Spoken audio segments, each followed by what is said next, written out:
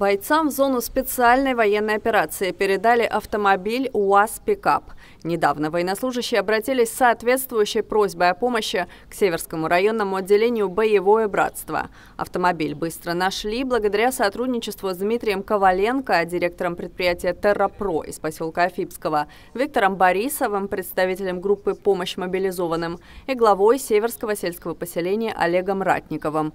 Работа по приобретению запчастей для автомобиля, ремонту и переоформлению была коллективной. В итоге пикап полностью укомплектован и готов к бездорожью. Оснащен лебедкой, гидроусилителем, есть большой багажник. Автомобиль, безусловно, станет большим подспорьем для военных, выполняющих свои боевые задачи.